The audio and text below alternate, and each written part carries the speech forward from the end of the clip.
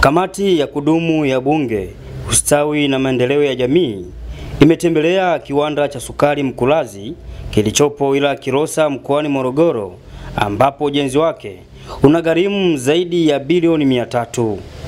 Kiwanda hicho kwa sasa ujenzi wake umefikia asilimia 89 huku kikitarajiwa kukamilika mwezi Juni mwaka huu ambapo kukamilika kwake kinatajwa kumaliza changamoto ya sukari hasa sukari za viwandani ambapo kwa sasa asilimia kubwa ya sukari hizo inaagizwa kutoka nje ya nchi. Ona umuhimu wa kuwekeza ili kuweza kupunguza upungufu wa sukari nchini. Kwa taarifa ambayo tuliyoipata katika zile documents zenu ni kwamba kutokuwa kuna uwezo wa kuzalisha sukari zaidi ya kilo elfu, tani elfu hamsini. Hili si jambo dogo ya sukari ya matumizi ya binadamu pia na ya, ya viwandani na hii naamini kama alivyozungumza mheshimiwa mbunge mwenzangu ni kwamba itasaidia kupunguza ile naksi ya nini? Ya sukari, lakini kubwa zaidi kwamba uh, tumeona kwamba uh, wazawa wengi nao wameshiriki katika kufanya shughuli, lakini katika ile taarifa mliotupa mmesema kwamba mnataraji baada ya kumaliza ujenzi wa hichi kiwanda ni kwamba zaidi ya ajira 2315 zitapatikana.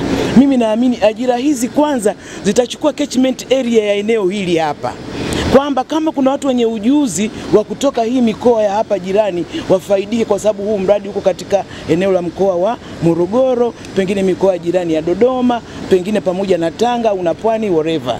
Yani at least kwenye hii catchment area, kama wale wataalamu wapo, basi ni vizuri wale wakafaidika, kwa sababu Waswahili wanasema mcheza kwao ufanya nini, utunzwa eti eh? Kwa hiyo mimi nimpongeze sana Mheshimiwa Rais Samia Suluhu Hassan, rais wa awamu ya sita. Kwa kweli mama anaupiga mwingi, tusikatae, yani tusibabaishe maneno. Naamini Mungu akitujalia itakapofika hiyo Julai ambayo nyinyi mmeisema na mmeahidi kwamba kwa jinsi ninavyoona utendaji wa kazi huu utakuwa, tunaye kamishna wetu wa magereza hapa tunaye, ambao pia ni wabia na wale wabia wengine. Naamini kabisa kwa mwenendo huu, Mungu akitujalia, tutakapofika mwezi huo, basi tutakuta kila kitu sikio, tutakuja tutabeba na sukari, si ndio? E, maanake sino itakuwa imeshaanza kuzalishwa. Kwa hiyo nachoweza kusema ni kwamba niwapongeze sana kwa niaba ya kamati, niwapongeze sana kwa niaba ya, ya spika wa jamhuri. Mheshimiwa Waziri, hongereni sana kwa kazi nzuri.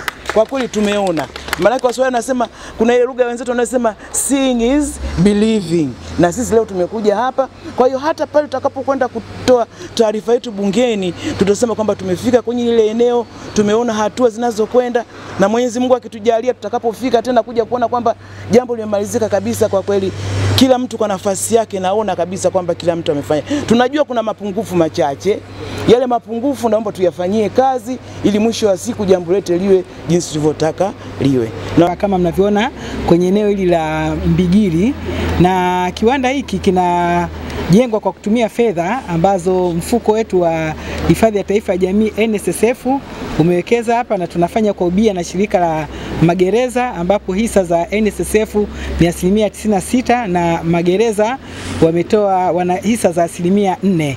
Na kiwanda hiki mpaka kitakapokamilika, na tunategemea kitatumia fedha jumla ya shilingi bilioni 344 ambapo fedha hizi kama ambavyo mmetembea na kujionea, uh, kiasi cha fedha kuna ambacho kimetumika katika kutengeneza mashamba pamoja na miundombinu ya shamba kwa ujumla pamoja na maeneo ya umwagiliaji na fedha nyingine zimetumika kwa ajili ya kiwanda hiki na kama ambavyo mnaona kazi inaendelea vizuri. Kwa kweli tunamshukuru sana Mheshimiwa Rais Samia Suluhu Hassani kwa sababu kiwanda hiki wazo la kukijenga lilikuwepo muda mrefu, lakini kazi imeanza rasmi kwa msukumo mkubwa wa Mheshimiwa Rais Samia Suluhu Hassan mwezi Julai, kama ambavyo taarifa imetolewa na mshauri elekezi Julai 2021 na kwa kweli tutakisimamia. Lengo letu ni kuhakikisha kwamba tunapunguza ule upungufu wa sukari maana kila mwaka tumekuwa tunasikia sukari lazima watu wapate kibali iagizwe kutoka nje. Kwa hiyo